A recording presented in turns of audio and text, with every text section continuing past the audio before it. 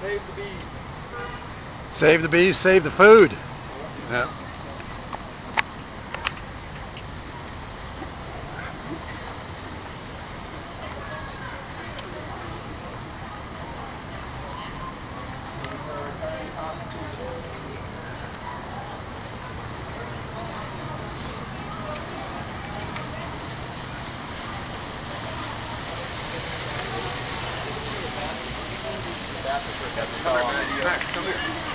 Oops, I'm sorry, I'm sorry.